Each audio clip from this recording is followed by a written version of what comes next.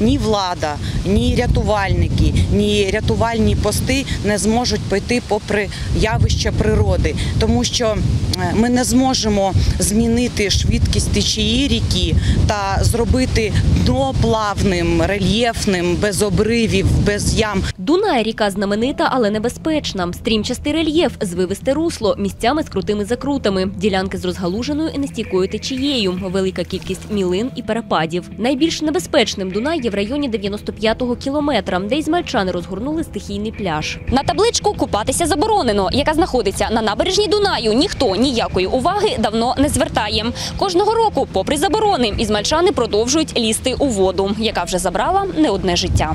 Аби нагадати місцевим жителям про те, які ризики таїть в собі купання у несанкціонованих місцях, рятувальники щороку проводять профілактичні рейди, але люди, на жаль, нехтують цими правилами. Про це свідчить сумна статистика. На річці Дунай та на території біля діорами за 2018 рік загинуло три особи.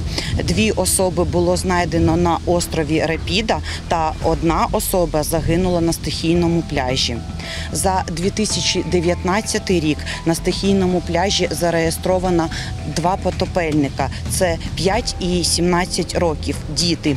І одна людина була знайдена на 86-му кілометрі річки Дунай. У минулому 2020 році на Дунаї було зареєстровано чотири потопельника, а цьогоріч вже двоє. Останньою 12 липня потонула молода жінка Тетяна Кочеткова. Жінка потрапила у глибинну яму і пішла під воду на очах свого сина. Згодом її тіло виявили на 93-му кілометрі. Дунай непридатний для купання, вкотре наголошує провідний фахівець Ізмаїльського відділу головного управління Державної служби з надзвичайних ситуацій в Одеській області Наталя Гошкодер. Усе через течію. Її швидкість перевищує максимально допустимі норми.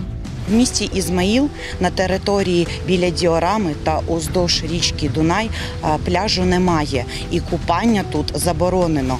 Бо річка Дунай не має плоского дна, плавного спуску. Замість цього є е, обриви та ями, які досягають 6-9 метрів. Швидкість течії ріки Дунай становить 1,5 метрів за секунду. При дозвільній 0,5 метрів за секунду. Також пляж не обладнаний рятувальним постом, і тут немає чергових рятувальників. Звивисте дно та ями ніколи не дозволять створити тут санкціонований пляж, пояснює Наталя. Не допоможе навіть рятувальний пост за розповіддю водолаза, який брав участь у пошуковій операції. Якщо людина потрапила у таку яму, витягти її звідти практично неможливо. Людину буквально одразу всмоктує під воду. Однак людей це зовсім не бентежить. На практиці ми щодня бачимо, що на стихійному пляжі в районі діорами завжди багатолюдно. Причому свідомих ізмальчан, які відповідають за свої дії, не так багато. У меня есть опыт плавания, да, я умею плавать, но когда здесь быстро заканчивается берег и потом начинается резкое течение,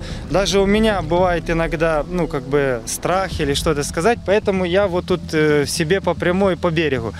Как купаются все остальные люди, да, на свой страх и риск. Спокойно заплывают, плюс вот дети, даже вот тут со мной этот ребенок, я в какой-то мере осознаю степень ответственности. Здесь нужно знать это место, да, чтобы так вот купаться. А так я, конечно, противник. Но я и противник вот этого. Я знаю, что я нарушаю, но мне приходится на свой страх и риск. Мы никогда не зайдем в воду. Мы только понаблюдаем, посмотрим на людей, пообщаемся, можем ножки помочить пройтись, но купаться не будем. Так как э, вы видно, что нет людей, нет пляжа городского. Не дай бог унесет тебе Дунай, такое течение имеет. Конечно, будут проблемы. И не зря люди гибнут, потому что это самовольство приводит к беспределу и беспорядку. Ответственность должна быть. Должны быть штрафы за это обязательно. Поплыл где-то там себе, все. Штрафы все должны знать, что есть установленный штраф, что есть установленные, образно говоря, часы купания, либо дни купания.